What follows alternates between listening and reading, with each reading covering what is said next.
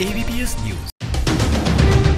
प्रदेश के भदोही जनपद में आस्था के प्रतीक स्थलों में बर्जी कला ग्राम सभा इन दिनों पूरे ज़िले में चर्चा का विषय बना हुआ है। हम बात कर रहे हैं ग्राम सभा बर्जी कला में गंगा तट पर स्थित देव दिभेद कमलेश्वर महादेव के मंदिर पर पुरुषोत्तम माह में एक माह तक चलने वाला अखंड हरि कीर्तन की। आजकल भदोही जनपद के ग्राम सभा बर्जी कला में दिनांक 15 मई से लगा पुरुषोत्तम माह में गंगा तट पर भोले बाबा के दरबार में ग्रामीणों द्वारा अखंड हरि कीर्तन किया जा रहा है। बर्जी कला के निवासियों सहित क्षेत्रीय शिव भक्तों का कहना है कि नर्मदेश्वर शिवलिंग में अपार शक्ति है।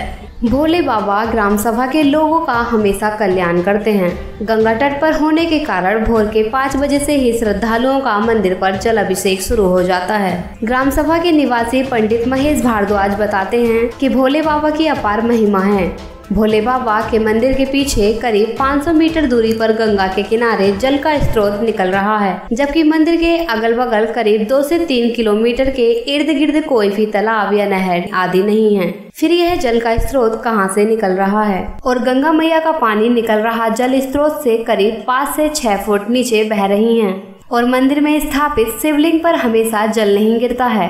फिर यह अद्भुत चमत्कार कहाँ से हो रहा है? ग्रामीण इसे भोले बाबा का चमत्कार मानते हैं। बर्जी कला निवासी भक्त कमला शंकर उपाध्याय व तीर्थराज ने एबीपीएस न्यूज़ चैनल को बताया कि भोले बाबा के दरबार में भक्तों की हर मुराद पूरी होती है। प्रधान संघ के राष्ट्रीय उपाध्यक्ष शिव भूषण उपाध्याय उर्फ़ गोपाल लगभग 20 वर्ष से सावन में प्रत्येक सोमवार को रुद्र अभिषेक करते चले आ रहे हैं। भोले बाबा ग्रामीणों के हर संकट में खड़े रहते हैं। ग्रामीणों का कहना है कि जब भी ग्राम सभा में किसी लड़के की बारात जाती है तो सर्वप्रथम बाजा भोलेनाथ के दरबार में ही बसता है। एक माह तक चलने वाला इस धर्म की नगरी में रात दिन भक्तों का तांता लगा हुआ है। सावन माह में तो सुबह से शाम तक भक्तों द्वारा जल अभिषेक से भोले बाबा के दरबार में हाजिरी लगाते हुए जयकारे लगाते हैं। घंटा घड़ियाल से मंदिर गूंजता रहता है। एक माह तक चलने वाला इस महापर्व में भक्तों द्वारा भोले बाबा के मंदिर में पहुंचकर हरि कीर्तन में अवध से भाग लेते हैं।